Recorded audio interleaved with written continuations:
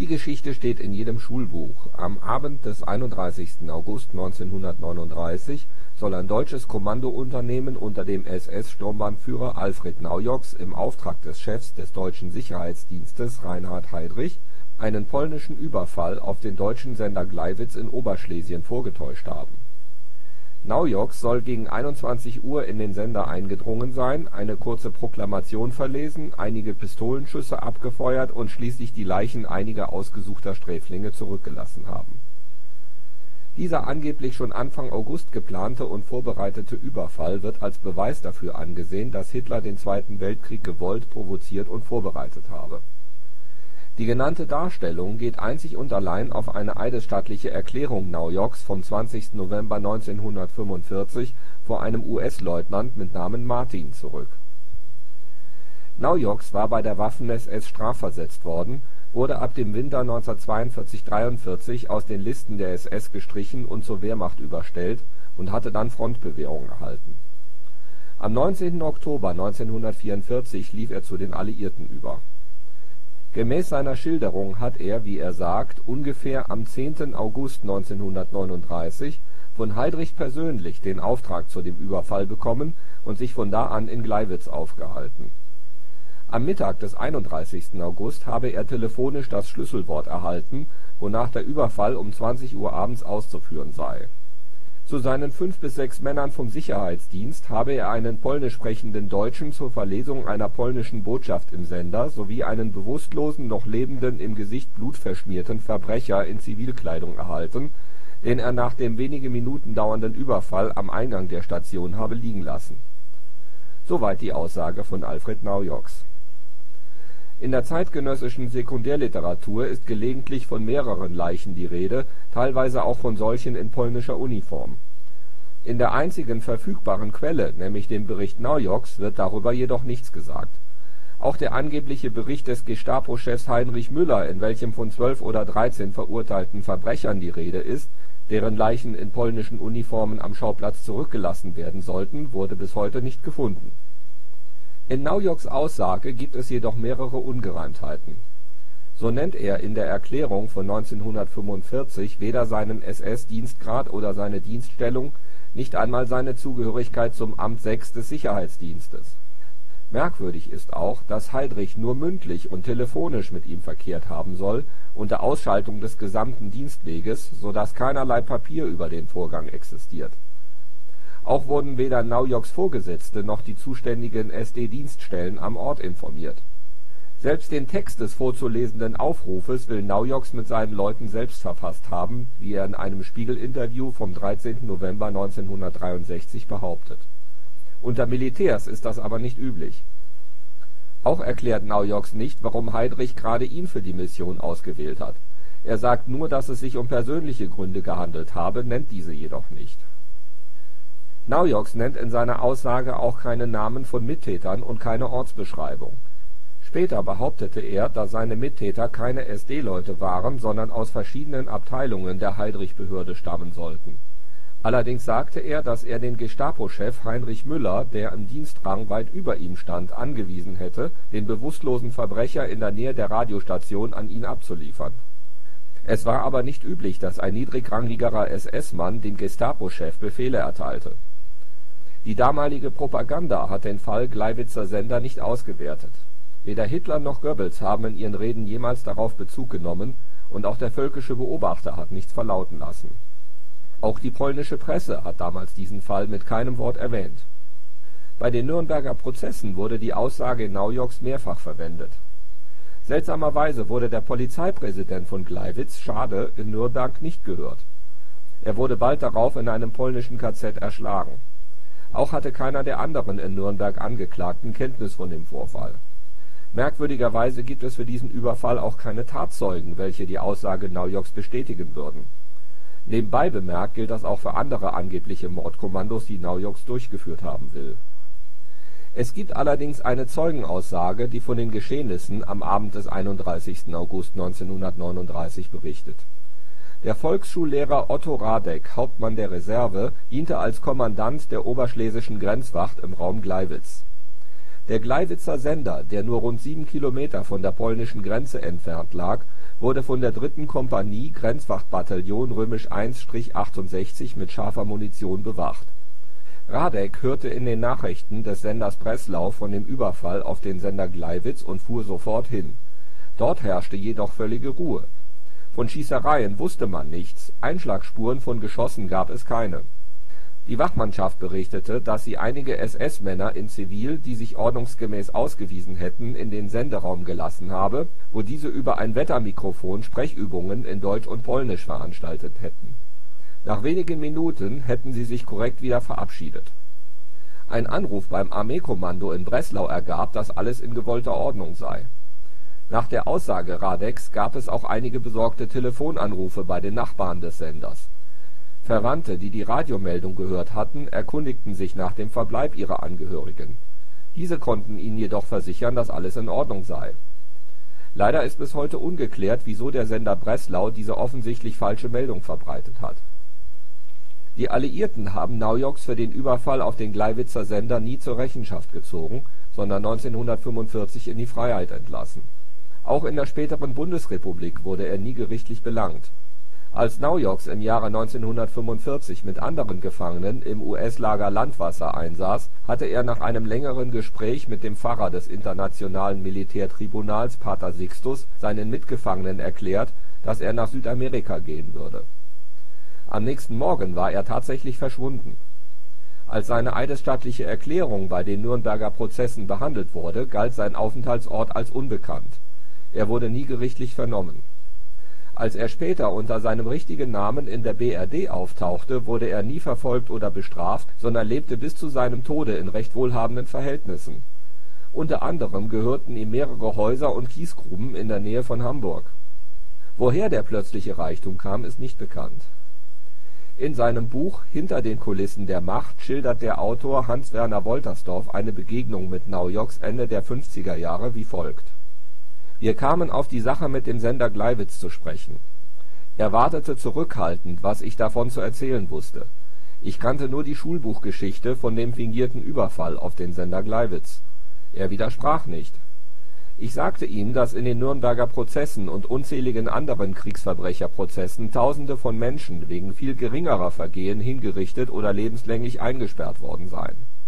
Er aber habe nach eigenem Eingeständnis eine Anzahl von KZ-Häftlingen ausgewählt und in polnische Uniformen gesteckt, wohl wissend, dass keiner von ihnen lebend davonkommen werde. Das sei heimtückisch vorbereiteter Mord. Trotzdem habe man ihm kein Haar gekrümmt. Wie das zu erklären sei, wollte ich wissen Sie sehen, dass ich noch lebe, sagte er, sogar gut lebe, und das ist für mich die Hauptsache. Seit den 1930er Jahren wurden überall in der Schweiz Grenz und Landesbefestigungen ausgebaut, um vor allem einen Angriff des nationalsozialistischen Deutschlands abzuwehren. In diesem Zusammenhang wird gewöhnlich von einer Operation Tannenbaum gesprochen unter diesem Decknamen sollen die Deutschen 1940 einen Angriffsplan auf die Schweiz erstellt haben. Da dieses Dokument erst lange nach Kriegsende von den alliierten Siegern in Umlauf gebracht wurde, ist es mit Vorsicht zu genießen. Sicher ist nur, dass die hohe Truppenkonzentration an der Schweizer Grenze bei Basel ein Täuschungsmanöver war, welches die Franzosen veranlasste, ihrerseits starke Verbände im Basler Raum zu konzentrieren Deutschland musste sich zwischen den beiden Weltkriegen bekanntlich der englischen Blockade erwehren, dazu der Gebietsansprüche Frankreichs, Belgiens, Dänemarks, Litauens, Polens, der Tschechei, außerdem war da noch das Problem mit Kärnten und Jugoslawien. Im Osten machte sich Stalin bereit für seinen Marsch zum Atlantik und in Mittelosteuropa, vor allem in Polen, wurde Jagd auf Volksdeutsche gemacht. Dennoch erscheint es den Schweizern logisch, dass ausgerechnet sie das Ziel der deutschen Expansionspläne gewesen sein sollen bei der Operation Tannenbaum dürfte es sich entweder um ein Planspiel handeln, so wie es Militärs gerne simulieren, um einen Teil des Täuschungsmanövers gegen Frankreich oder um alliierte Propaganda. Für letzteres spricht, dass keine Originaldokumente vorhanden sind, sondern bestenfalls Abschriften. Wer sich ein wenig mit Dokumentenfälschungen beschäftigt hat, weiß, dass dies ein beliebter Trick von Fälschern ist, kann man eventuelle Fehler doch einfach auf den Abschreiber abwälzen Oft sind jedoch nicht einmal Abschriften vorhanden, sondern nur persönliche Erinnerungen von angeblich Beteiligten. Politisch hätte die Besetzung der Schweiz jedenfalls keinen Sinn gemacht, war sie doch das einzige Nachbarland, von dem keine Bedrohung für Deutschland ausging. Das hinderte die Schweizer ihrerseits jedoch nicht daran, eine eventuelle Bedrohung durch Deutschland propagandistisch auszuwerten. Zum Beispiel führte der damalige Schweizer Oberbefehlshaber General Henri Guisan im Jahre 1940 den sogenannten Rütli-Rapport durch. Er versammelte auf der historischen Rütli-Wiese führende Offiziere der Schweizer Armee und nahm ihnen erneut den Treueschwur ab.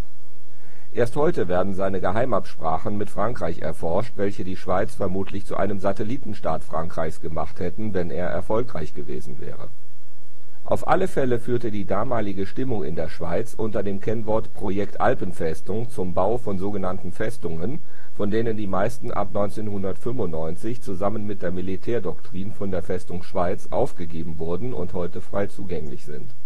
Die bekannteste dürfte vielleicht die Artilleriefestung Cresterwald in Graubünden sein, die in den Sommermonaten immer samstags besichtigt werden kann unter Ausnutzung natürlicher Höhlen wurde eine Artilleriefestung in den Fels gehauen, deren 10,5-cm-Kanonen mit einer Reichweite von 17 Kilometern vor allem den San Bernardino und den Splügenpass sichern sollten.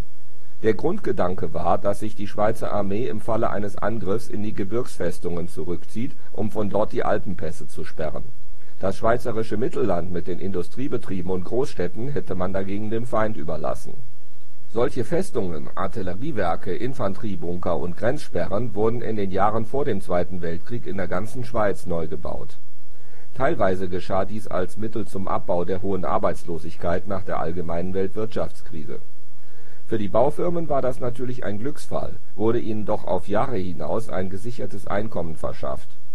Neben den Baufirmen haben auch diverse andere Firmen am Bau dieser umfangreichen militärischen Anlagen verdient vom Lieferanten der elektrischen Ausrüstung über die Waffenfabriken bis zum Möbellieferanten.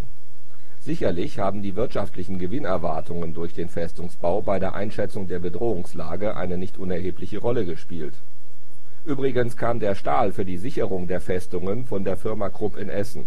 Die Kanonen in Cresterwald stammten ursprünglich aus Schweden und wurden in der Schweiz in Lizenz gebaut Verschiedene Elektroteile wurden von der Schweizer Filiale der Firma Bosch geliefert, und überhaupt benutzte die Schweizer Armee fast ausschließlich deutsche Kanonen von Krupp aus Essen. Abschließend sollte nicht unerwähnt bleiben, dass es dann schließlich die westlichen Alliierten waren, die Schaffhausen und sogar Zürich bombardierten, Schweizer Schiffe im Mittelmeer angriffen und nach einer deutlichen Aufforderung Stalins (er sprach von den Schweizer Schweinen) womöglich in die Schweiz einmarschiert wären der Deutschen und Deutschtumshasser Winston Churchill hat das allerdings abgelehnt. Otto John war in der noch jungen Bundesrepublik der erste Präsident des Bundesamtes für Verfassungsschutz. Bis dahin hatte er allerdings schon ein bewegtes Leben hinter sich. Geboren wurde er in Marburg am 19. März 1909. John wuchs in Wiesbaden auf und studierte in Frankfurt am Main und Berlin Jura im Jahre 1934 schloss er sein Studium mit der Promotion ab. Ab 1936 war er bei der Lufthansa tätig, sein Vorgesetzter in der Rechtsabteilung war Klaus Bonhoeffer, der Bruder des Theologen Dietrich Bonhoeffer. Durch Klaus Bonhoeffer bekam John noch vor dem Krieg Kontakt zum Widerstand gegen den Nationalsozialismus in das Licht der Öffentlichkeit trat John durch seine Beteiligung am Putschversuch des 20. Juli 1944, an dem er im Berliner Bendlerblock beteiligt war. Nach dem Scheitern des Attentats gelang es John als einzigem der Hauptverschwörer zu entkommen. Er floh über Spanien und Portugal nach Großbritannien und arbeitete unter dem britischen Chefpropagandisten Sefton Delmer beim schwarzen Propagandasender Soldatensender Calais Johns Flucht aus Deutschland schien nicht besonders schwierig gewesen zu sein, wie er Delmer nach seiner Ankunft in London berichtete. Erst am 24. Juli, vier Tage nach dem missglückten Attentat auf Hitler, bestieg John die Linienmaschine Berlin-Madrid. Als Angestellter der Lufthansa verfügte er über ein Dauervisum für die Ausreise in diesen vier Tagen zwischen Attentat und Flucht spazierte John offen durch Berlin und führte Telefongespräche mit seinen Mitverschworenen oder deren Freunden, von denen einige jedoch bereits verhaftet worden waren. Erst der Diplomat und Mitverschwörer Adam von Trott zu Stolz konnte John dazu bewegen, sich ins Ausland abzusetzen. Bereits seit 1942 hatte John Kontakt zu Mitgliedern britischer und amerikanischer Geheimdienste, die er ausführlich über die Pläne der Verschwörer informierte Es waren dann auch seine Freunde vom britischen Secret Service, die ihn aus Madrid nach Lissabon schmuggelten und von dort nach London brachten. Nachdem er dort die mehrere Wochen dauernde britische Sicherheitsüberprüfung überstanden hatte, wurde er mit Sefton Delmer bekannt gemacht. Dieser warb ihn für seine Propagandaabteilung mit den Worten: „ Wir führen eine Art totalen Nervenkrieg gegen Hitler.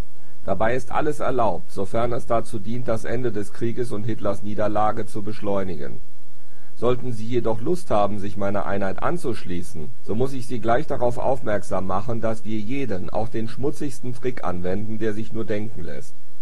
Jeder Griff ist erlaubt, je übler umso besser, Lügen, Betrug, alles. John hatte jedoch keinerlei Bedenken gegen eine Mitarbeit und gab Delmer bereitwillig alle Informationen, die dieser von ihm haben wollte Egal ob es sich um die innere Opposition um die Gebrüder Bonhoeffer und Admiral Canaris handelte oder um das was Delmer „ Himmlers Flirt mit der Widerstandsbewegung “nannte, John erzählte seinen neuen englischen Freunden alles. Aus diesen Informationen entwickelte Delmer umgehend eine Kampagne gegen Himmler. Mittels des Delmerschen Radiosenders Hagedorn wurde nun auch der Waffen-SS eine Widerstandsbewegung gegen Hitler angedichtet. Nach dem Krieg hat auch John recht schnell wieder eine Beschäftigung gefunden nach Kriegsende war er zunächst Zeuge der Anklage bei den Nürnberger Prozessen. 1950 wurde er Präsident des neu gegründeten Bundesamtes für Verfassungsschutz in Köln, vor allem durch britische Unterstützung und gegen den Willen von Kanzler Konrad Adenauer. Am 20. Juli 1954 nahm John an einer Gedenkfeier für die Hitler-Attentäter im Berliner Bendlerblock teil am Abend des gleichen Tages fuhr Wolfgang Wohlgemuth, ein Freund, der für den sowjetischen Geheimdienst KGB arbeitete, mit ihm in den Ostsektor Berlins. John wurde von KGB-Offizieren Ende August bis Mitte Dezember 1954 in Moskau verhört. Kopien der Protokolle dieser Verhöre wurden damals dem Stadtsicherheitsdienst der DDR überlassen Nachdem er vier Monate lang in Moskau verhört worden war, stellte ihm die DDR zwei komfortable Wohnungen und ein Büro und John nahm, ständig unter Bewachung, eine Propagandatätigkeit auf, während der er in vielen Vorträgen und Veröffentlichungen zahlreiche Vorwürfe gegen die BRD erhob Aufgrund der inzwischen vorliegenden Akten des Staatssicherheitsdienstes, die 1999 in den Vierteljahresheften für Zeitgeschichte vorgestellt und kommentiert wurden, weiß man heute mit ziemlicher Sicherheit, dass John entgegen seiner Behauptung sehr wohl Dienstgeheimnisse und Amtsinterna preisgegeben hat. Am 12. Dezember 1955 setzte sich John mit Hilfe des dänischen Journalisten Henrik Bonde Henriksen wieder von Ost nach West-Berlin ab in der Bundesrepublik wurde er wegen Landesverrat angeklagt, was ihn anscheinend überraschte, und vom Dritten Senat des Bundesgerichtshofs in Karlsruhe am 22. Dezember 1956 zu vier Jahren Zuchthaus verurteilt, die er nahezu vollständig absitzen musste. Nach seiner Freilassung bemühte sich John bis an sein Lebensende vergeblich um seine Rehabilitierung. Prominente Politiker wie Herbert Wehner, Willy Brandt und Franz Josef Strauß setzten sich für eine Wiederaufnahme des Prozesses ein sein früherer Chef beim Soldatensender Calais, Sefton Delmer, widmete John im 1962 erschienenen zweiten Teil seiner Memoiren Die Deutschen und ich in distanzloser Weise zwei Kapitel. Darin versuchte er, allein aufgrund der Johnschen Darstellung diesen als Märtyrer zu präsentieren, der als Überlebender des Widerstandes gegen Hitler bei den tonangebenden Politikern und Beamten jener Zeit zum Prügelknaben und ersten Opfer des Vierten Reiches geworden sei der damalige Bundespräsident Richard von Weizsäcker gewährte ihm 1986 eine Sonderrente von 4.200 DM monatlich, um, wie er sagte, „ mit den bescheidenen Mitteln, die meinem Amt zur Verfügung stehen, einen Schlussstrich zu ziehen. “Der Politikwissenschaftler Hartmut Jekyll kommt in seinem Artikel in der Zeitung Die Zeit aufgrund der inzwischen vorliegenden Unterlagen aus den Stasi-Beständen zu folgendem Schluss Gewichtige Indizien besagen, der Geheimnisträger Otto John hat sich am 20. Juli 1954 freiwillig zu Gesprächen nach Ost-Berlin begeben. Innerlich bewegt von einem naiv-patriotischen Impetus, der deutschen Einheit auf eigene Faust voranzuhelfen, hat er nicht damit gerechnet, dass ihm die Rückkehr in den Westteil Berlins verlegt werden könnte. Als ihm dies bewusst wurde, mag er geglaubt haben, einen groben Fehler durch einen noch gröberen korrigieren zu können Otto John verstarb am 26. März 1997 in Innsbruck Der Wissenschaftler und Physik-Nobelpreisträger Albert Einstein gilt als einer der wichtigsten Forscher des 20. Jahrhunderts. Jedoch ist die derzeitige Physikergeneration gerade dabei, seine Thesen zu widerlegen. Zumindest die Idee, dass nichts schneller reisen kann als das Licht muss als überholt gelten, seitdem es vor einigen Jahren Wissenschaftlern der Universität zu Köln in einem Laborversuch gelang, Schallwellen mit Überlichtgeschwindigkeit zu transportieren. Schon vor dem Ersten Weltkrieg legte Einstein seine deutsche Staatsbürgerschaft ab und arbeitete als Angestellter des Eidgenössischen Patentamtes in Bern in der Schweiz mit an Sicherheit grenzender Wahrscheinlichkeit hat er bei dieser Tätigkeit in einer von technischen Innovationen geprägten Atmosphäre zahllose Anregungen für seine eigenen Theorien erhalten. Nach seiner Berufung an eine deutsche Universität nahm er seine alte Staatsbürgerschaft zwar wieder an, sein Herz gehörte jedoch eindeutig dem Zionismus. Im Jahre 1952 trug man ihm sogar das Amt des israelischen Staatspräsidenten an, was er allerdings ablehnte 1933 emigrierte Einstein in die USA und schrieb seine legendären Bombenbriefe an Präsident Roosevelt, in denen er noch vor Ausbruch des Zweiten Weltkrieges zum Bau der Atombombe gegen Deutschland drängte. Wie sein britischer Biograf Ronald Clark schreibt, war Einstein von einem Deutschenhass besessen, der paranoide Züge trug. Einstein hatte sich auch direkt am Bau der Atombombe beteiligt, die dann allerdings auf Japan abgeworfen wurde obwohl Einstein es nach eigener Aussage ablehnte, an irgendeiner Sache beteiligt zu sein, die ein Stück des deutschen öffentlichen Lebens verkörpert, sind in Deutschland zahlreiche öffentliche Einrichtungen nach ihm benannt. Seine Büste steht seit 1990 sogar in der Ruhmeshalle Walhalla bei Regensburg. Bekannt wurde Einstein vor allem durch seine bahnbrechenden Arbeiten, die er zum ersten Mal in einem Artikel mit dem Titel Spezielle Relativitätstheorie in den Annalen der Physik im Jahre 1905 der Fachöffentlichkeit präsentierte.